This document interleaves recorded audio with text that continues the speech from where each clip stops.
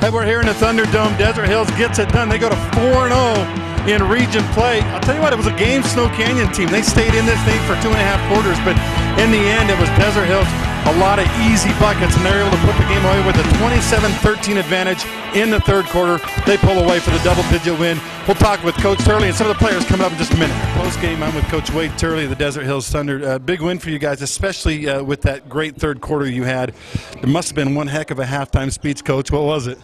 I uh, wasn't real thrilled with how we played first half. You know, I give Snow Canyon a lot of credit. I knew they were going to come in fired up and uh, giving us their best shot because they, you know, they needed a win and and uh, and their coaches do a great job with them. And they, I knew they were going to come and bring a lot of effort and energy. But uh, we just told the kids we expect more. Really, you know, they got to play a little bit better in the post and uh, we got to play a little smarter offensively, and we had too many turnovers the first half. That third quarter, the kids come out, shared the basketball, and uh, you know we made a nice run there.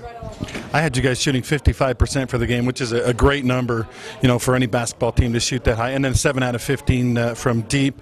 Uh, was it a lot of it uh, you guys hot? Was it a lot of it uh, you guys just getting easier buckets? I think just give giving up a good shot for a great shot. You know, there, we passed up some good shots, but the kids made the extra pass we love the inside out three, and we got two or three of those, and that just makes your shooting percentages go up when you take smart shots.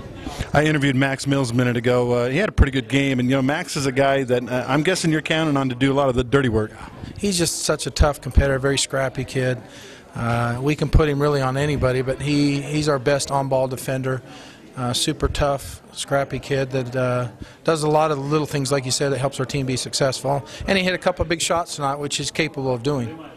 I think Quincy had 10 or 12 in the third quarter. Uh, was there a particular focus to make sure he got the touches and got the shots in the second half? He was motivated. Obviously, he sat out most of the second there with foul trouble, and so he was motivated to come in and help us. He saw that we were struggling offensively, especially, and uh, like he's done throughout this year at times, you know, he takes his team and he says, "Hey guys, you know, let's run the offense through me. Let's let's." Uh, you know, let's make a run here. And he's he's a guy that kind of helps us get going. So he was motivated, and we knew we needed to get him the basketball for our team to be successful.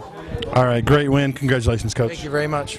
We're with Logan Hokinson, uh, who came off the bench and really did a nice job. I think scored seven points and, and helped uh, helped the Desert Hills beat Snow Canyon today.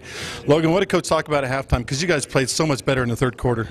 Yeah, he just wanted us to play our game and slow things down and uh, get stops and. Um, make sure they don't shoot threes and stuff like that. You guys shot a, a very high percentage. I think it was 55% for the game. Uh, a lot of that is, is uh, of course, good shooting from outside, but you guys got a lot of easy shots too, especially in the second half. What was the key there?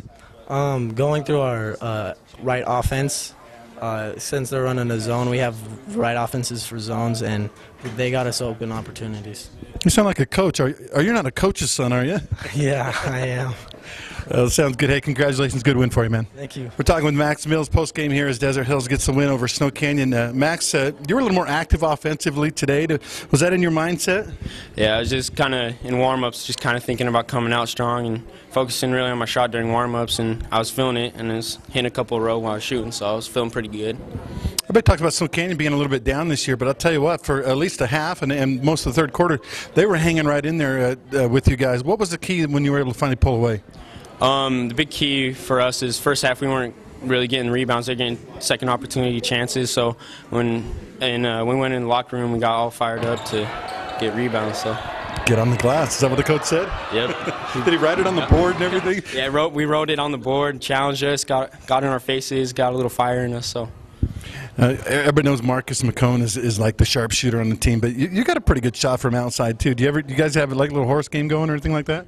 yeah, me and him challenge each other in practice sometimes. So who's really the best shooter?